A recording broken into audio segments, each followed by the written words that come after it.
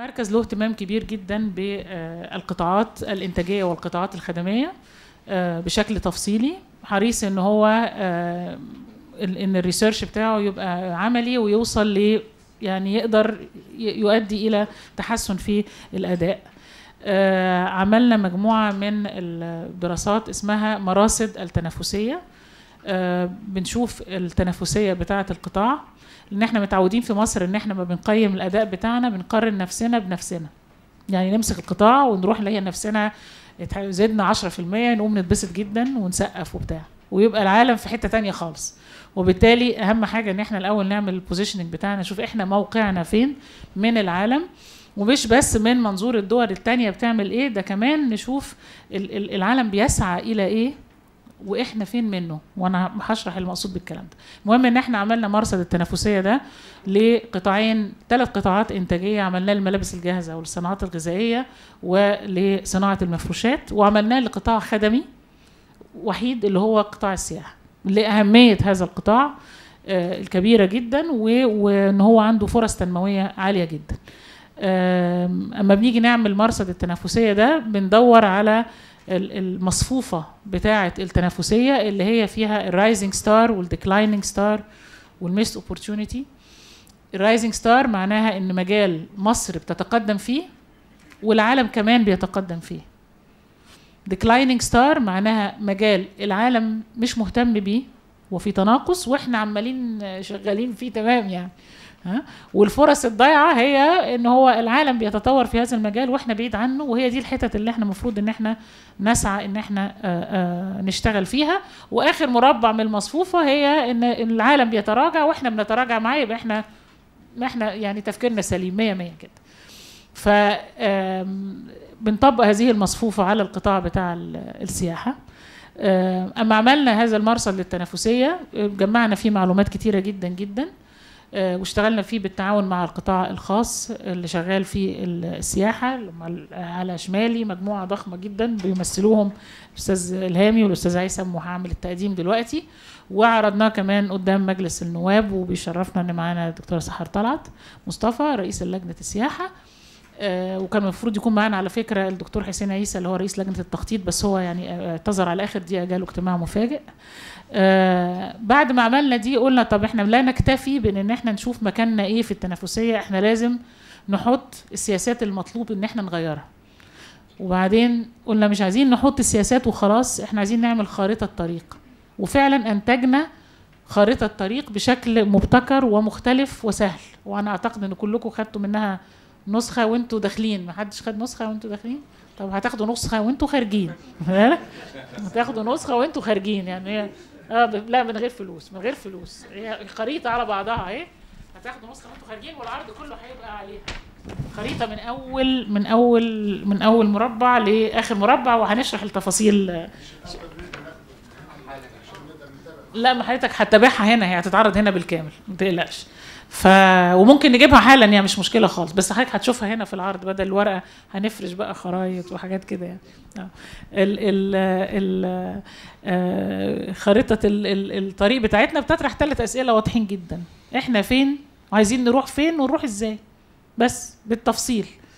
بالتفصيل كامل وإحنا مش مطلوب أكتر من كده وهيتقدم العرض بتاعها. بس قبل العرض أنا عايزة الحقيقة أقدم يعني ضيوفي اللي أنا سعيدة جدا بوجودهم وهبتدي بالأستاذة سحر طلعت مصطفى رئيس لجنة السياحة والطيران المدني بالبرلمان المصري اللي هي بقى أهم شخصيه يعني لو إحنا عايزين نزق أي حاجة ها لو ما عرفتيش انت تزقيها بقى يبقى عندنا عندنا مشكلة. هي بالإضافة لهذه الصفة هي عضو مجلس إدارة مجموعة ضخمة من الشركات. مجموعة شركة طلعت مصطفى القبضة شركه اسكندرية الإنشاء والديكور اسكندرية الإنشاءات اسكندرية الزراعية. إيه موضوع اسكندرية؟ كلهم اسكندرية.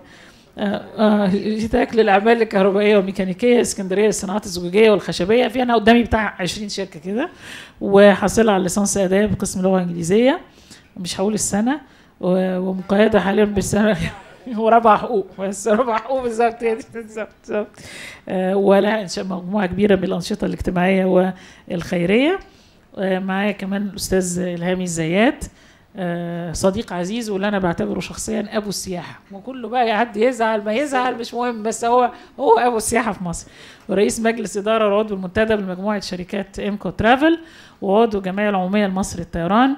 وعضو مجلس إدارة لكل من شركة القبضة للطيران والملاحة الجوية وشركة القبضة للسينما للسياحة والسينما والشركة الفندقية لمدينة الإنتاج الإعلامي المجلس الأعلى للتسعير التابع لوزارة الطيران المدني وعنده ماجستير في إدارة الأعمال ودكتوراه فخرية في إدارة الأعمال آه وبيتكلم أسباني ما كنتش عارفة عن الموضوع ده ودبلوم من اللغة الأسبانية وتقلد مجموعة من مناصب آه كبيرة جدا آه فهو يعني كله سياحة.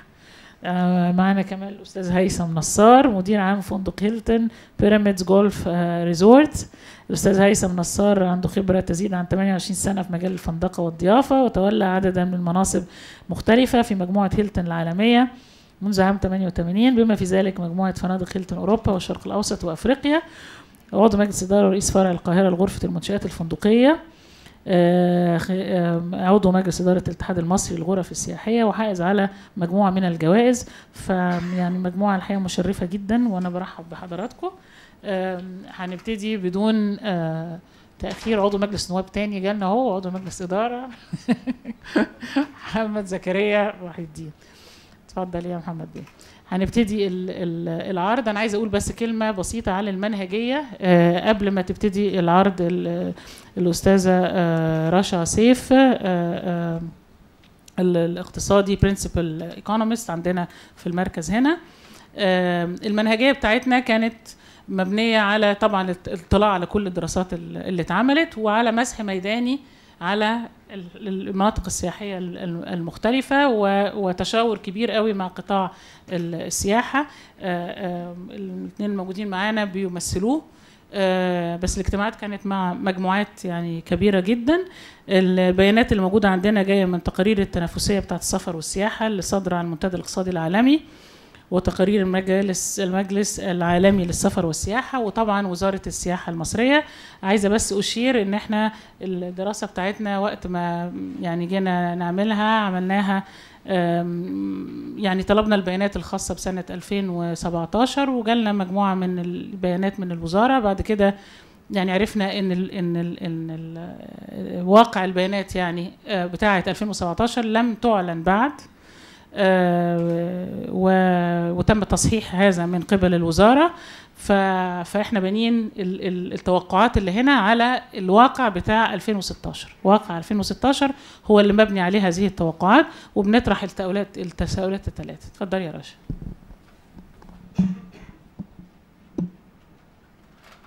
صباح الخير. إحنا دايما بنبتدي بأين نحن؟ دي نقطة الانطلاق بتاعتنا.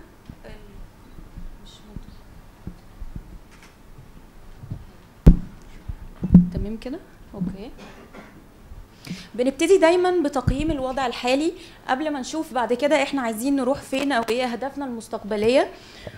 وبالتالي بنبتدي نشوف إحنا إيه وضعنا دلوقتي. بنبدأ بسلسلة القيمة لقطاع السياحة. أول حاجة فيها بتبدأ بالتسويق للمنتج السياحي وده بيكون من خلال هيئة تنشيط السياحة وشركات السياحة والفنادق وغيرها. بعد كده بيجي توفير الانتقالات الدولية سواء جوي أو بحري أو بري. توفير بعد كده سبل الإقامة سواء فنادق ثابتة أو عائمة أو مطاعم. يجي بعد كده تنظيم البرنامج السياحي وما يشتمل عليه من مزارات سياحية وغيره. وأخيرا توفير الانتقالات الداخلية سواء جوي أو بري. بعد كده بنت بنعرض لمحة سريعة عن أداء القطاع. إحنا بنعرض هنا عامين 2010 و2016 بالنسبة ل 2016 هو أحدث عام متاح بياناته كاملة زي ما أشارت دكتور عبلة.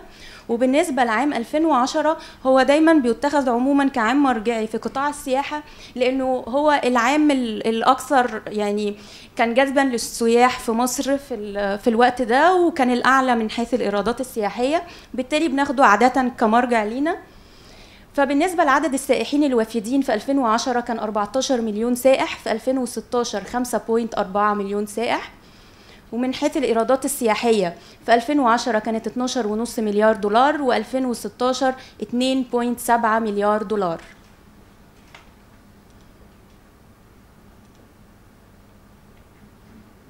زي ما دكتور عبلة قالت إحنا دايما لما بنقيم الوضع الحالي إحنا ما بنحبش نكتفي بس بإن إحنا نرصد التغير الدوري اللي بيحصل لموقف مصر. دايما بنحب نقارن وضع مصر بالنسبة لمنافسيها. وفي اختيار منافسيها إحنا دايما بنعتمد على الفكر بتاع الاقتصادي الهندي سانجايا لال هو قسم الدول المنافسة لثلاث مجموعات رئيسية. المجموعة الأولى الدول التي يحتذى بها أو ال role models وهي الدول الرائدة في قطاع السياحة بتكون الأكثر جذبا للسائحين عالميا. وفي الدول المنافسة ودول ال direct competitors لمصر في المجال ده. ودول الجوار هي الدول اللي بتربطنا بيها خصائص مماثلة جغرافية وثقافية وغيره. وبالتالي إحنا اعتمدنا هنا بعرض لمؤشر آه، تنافسية للسفر والسياحة اللي بيصدر عن المنتدى الاقتصادي العالمي. وبالنسبة للبيانات الصادرة عن آخر تقرير صادر في 2017 هنلاحظ هنا إن مصر في مركز متأخر نسبيا 74 من بين 136 دولة. بالرغم من إن إحنا برضو لازم أقول إن إحنا تقدمنا حوالي تسع مراكز عن التقرير السابق له بس إحنا ما زلنا في مركز متأخر. ما نتقدمش بس عن الدول محل المقارنة غير عن تونس اللي في المركز 87 والأردن في المركز 75 المؤشر ده بينقسم لأربع مؤشرات فرعية. البيئة المواتية، السياسات الخاصة بالسياحة والسفر والظروف المواتية، البنية التحتية، وأخيرا الموارد الطبيعية والثقافية. إحنا للتسهيل رمزنا للترتيب بتاع الدول ومصر بالنجوم فهنلاحظ إن بالنسبة للبيئة المواتية إحنا عندنا نجمة واحدة بس والبنية التحتية نجمتين إحنا هنا ترتيبنا متراجع بالنسبة لدول محل المقارنة وترتيبنا يعتبر جيد نسبيا وبنقصد هنا بجيد نسبيا إن إحنا بنتقدم على دولة أو دولتين من الدول محل المقارنة وده في المؤشرات السياسات الخاصة بالسياحة والسفر والمؤشر الخاص بالموارد الطبيعية والثقافية.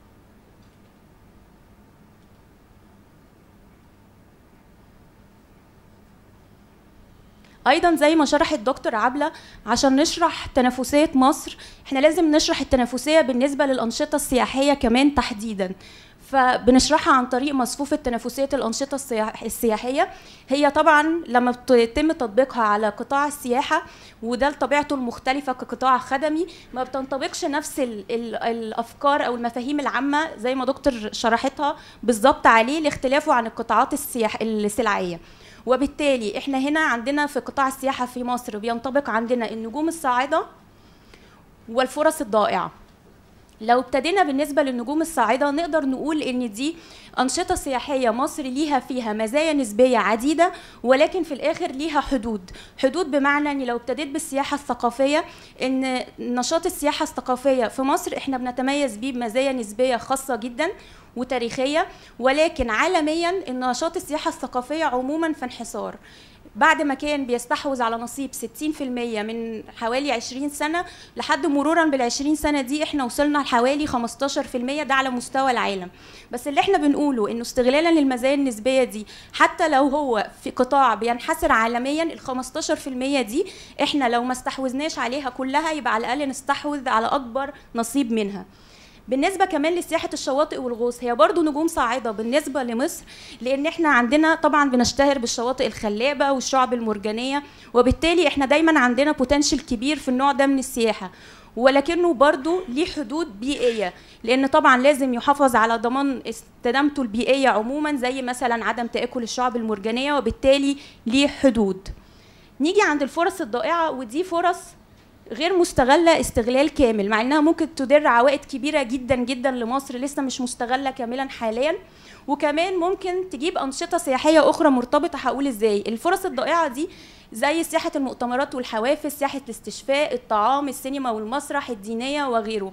مرتبطة بأنواع أخرى إنه زي مثلا لو في طبيب جاي يحضر مؤتمر علمي في تحت سياحة المؤتمرات والحوافز هو في نفس الوقت لو اتنظم له برنامج سياحي مظبوط هيبقى عنده كمان هيقدر يمارس سياحة ثقافية إنه هيروح مزارات سياحة شواطئ إنه هيروح يزور شواطئ وبالتالي نوع واحد من السياحة ممكن كمان يدر بعائد أكبر من الأنواع الأخرى المرتبطة بيه.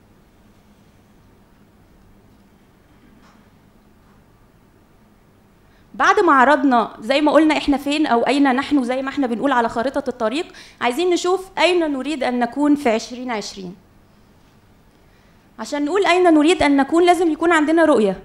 الرؤية إن إحنا نستعيد مكانة مصر على الخريطة العالمية كمقصد سياحي للوافدين من مختلف دول العالم وإنها كمان تكون مقصد عالي الجودة في 2030 الرسالة اللي المفروض تحقق لي ده إن أنا أبتدي طبعا إن إحنا هنعالج أوجه الضعف اللي بتواجه القطاع وكافة الأنشطة الوعيدة اللي إحنا أشرنا ليها قبل كده.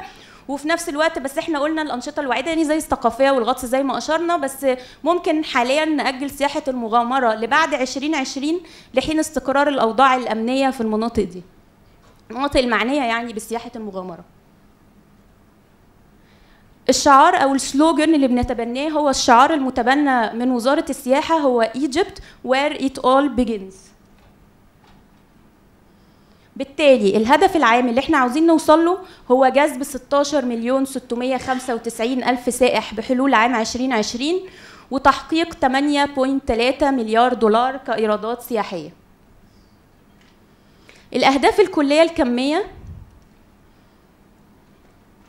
بنستهدف تحقيق معدل نمو المساهمة في الناتج المحلي الإجمالي 6.1% ومعدل النمو المساهمة في خلق فرص العمل 4.6% ومعدل نمو المساهمة في الصادرات 10% واوريدي المستهدفات دي أو التوقعات دي كانت متبناه أو معلنة من المنتدى من المجلس العالمي للسفر والسياحة اللي هو ال WTTC وإن كانت كانت معلنة لحد 2027 ولكن مع البحث الميداني اللي عملناه والمناقشات مع الخبراء في المجال لقينا إن في توقعات أكثر تفاؤلا من اللي محطوط ده إن الحاجات دي ممكن فعلا تتحقق في 2020 بشرط طبعا انه يتم تبني كافة السياسات الصح... الصحيحة السليمة اللي هي بعد كده هنعرضها وهنعرف إيه هي تفصيلا.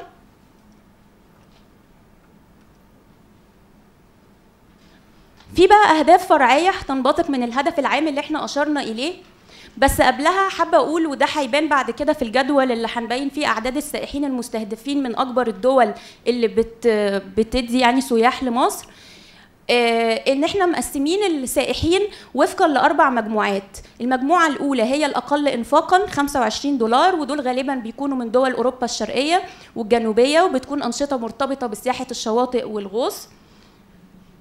ومتوسط الإنفاق حوالي 70 دولار في الأغلب من دول أوروبا الغربية. آه في الليلة السياحية تمام؟ آه في الأغلب من دول أوروبا الغربية وبتكون الأنشطة مرتبطة بالسياحة الثقافية وسياحة الشواطئ. مرتفع الإنفاق 130 دولار حوالي طبعا. في الأغلب من دول أمريكا الشمالية تكون الأنشطة غالبا سياحة ثقافية وترفيهية. وأخيرا الأعلى انفاقا واللي هو بي بينفق على الأقل 250 دولار في الليلة السياحية وده غالبا بيكون من كافة الدول وبيكون مرتبط بالأساس بسياحة المؤتمرات والحوافز والمعارض.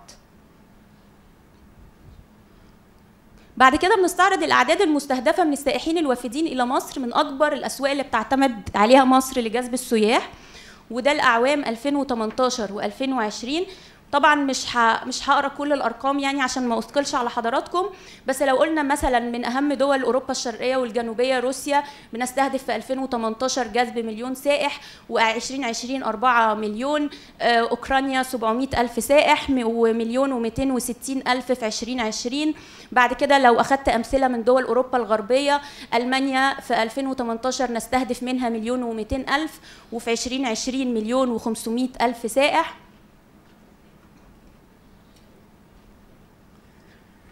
مثال آخر من دول أمريكا الشمالية الولايات المتحدة الأمريكية. نستهدف في 2018 300 ألف سائح و600 ألف في 2020 وصولا للدول العربية السعودية 500 ألف سائح في 2018 و2020 600 ألف سائح الكويت 200 ألف في 2018 و300 ألف في 2020 في الآخر ده بيوصلنا للإجمالي العام المستهدف. إحنا بنستهدف في 2018 إن إحنا نجذب حوالي 9 مليون و38 ألف سائح وفي 2020 نجذب 16 مليون 695 ألف سائح.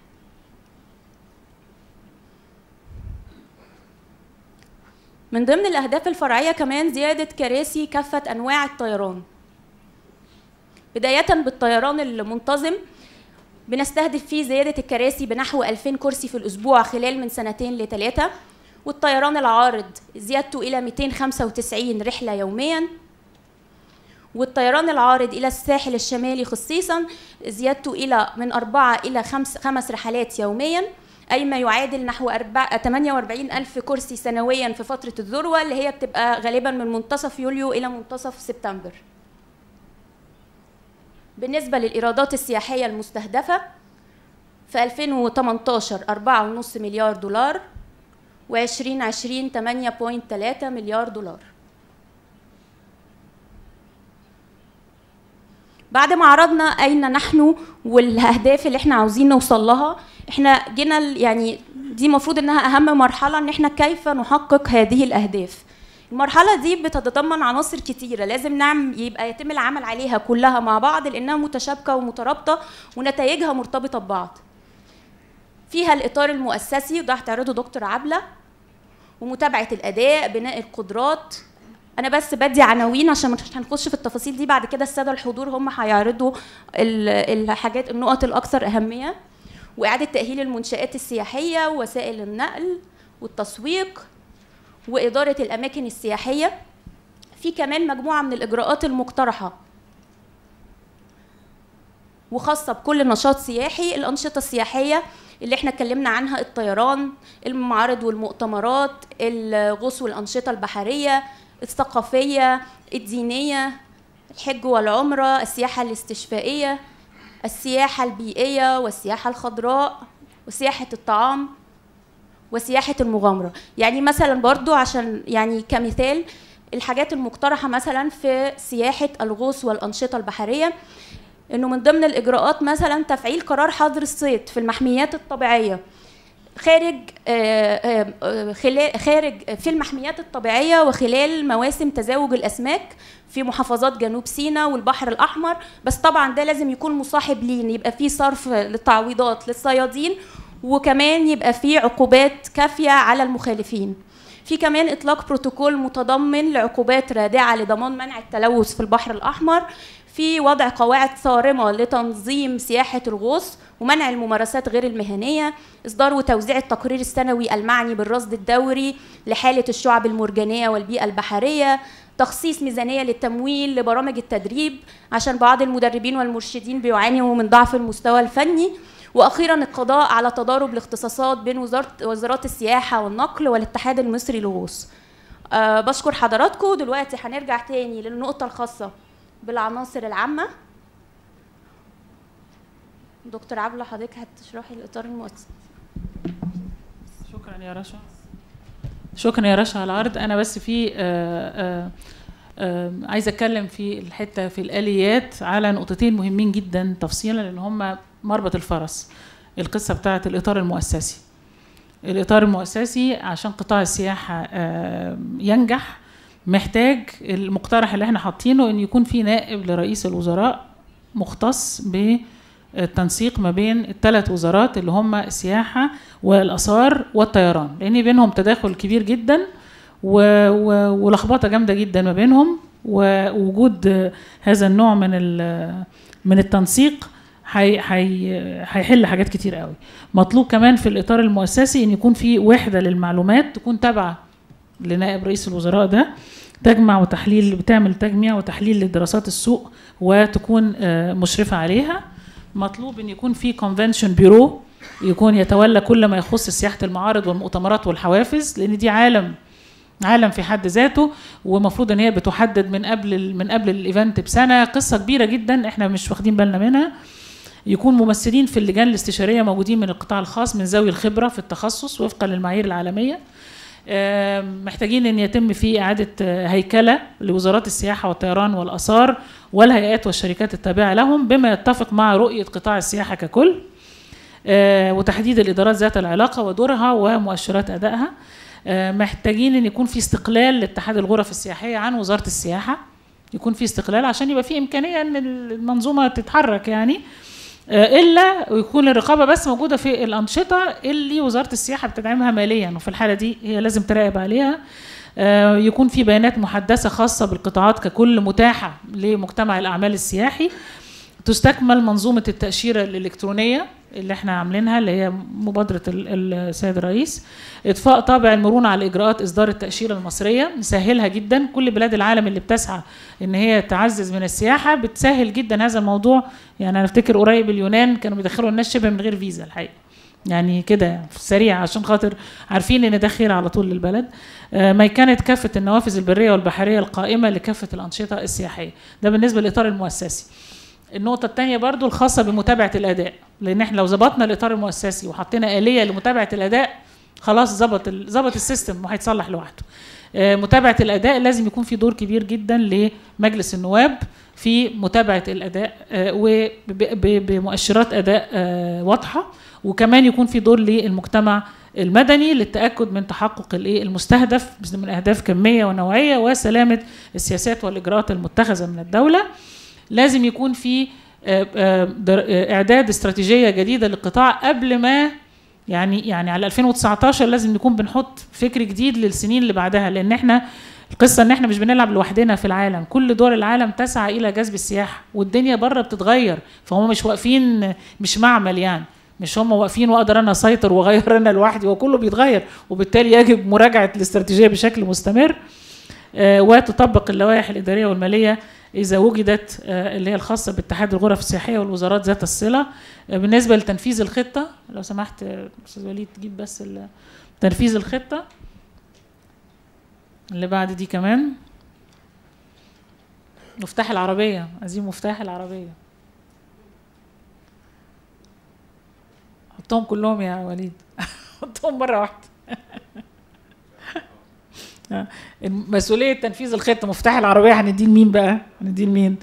ممثلون عن الجهات الحكومية ذات الصلة رئيس اتحاد الغرف السياحية رؤساء جمعيات المستثمرين ورجال الأعمال آه، في البحر الأحمر وجنوب سيناء وغيرها من المحافظات السياحية ممثلين عن الغرف السياحية من ذوي الخبرة وفقا للمعايير الدولية لأن ده في منتهى الأهمية إن هم دول كلهم يبقوا معنيين بموضوع التنفيذ وممثلين عن قطاع الإيه التسويق التجميعة دي هي اللي ممكن تحقق الهدف. مش مش ابدا وزاره بعينها أو حتى قطاع آه، بعينه. وبعدين أهم من كل ده بقى هي ال- ال- الكارثة المصرية الشهيرة بقى إن إحنا لازم نفصل ما بين وضع السياسات والتنفيذ ومتابعة الأداء. الثلاثه دول مختلفين تماما عن بعض. إحنا الحتة دي عندنا فيها يعني دي من الجهات من الحاجات اللي عايزة إصلاح مؤسسي جامد جدا. إحنا عندنا حتى الريجوليتور بشكل عام في أي قطاع بيرقصه الوزير المعني بالتنفيذ.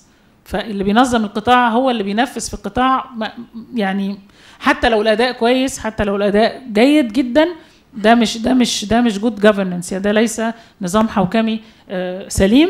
آه، وأخيرا إن لازم يتعمل تطوير مؤسسي يحقق هذا الفصل ولازم مهم جدا جدا إن هو آه، يتم وضع الخطوط العريضة للاستراتيجية اللي بعدها بسرعة ان إحنا نتابع. ده ده الشغل اللي إحنا عملناه وحاولنا ان إحنا نحطه بال infographics وهنعملها لكل القطاعات لأنه أعتقد إنه كده سهل ومريح.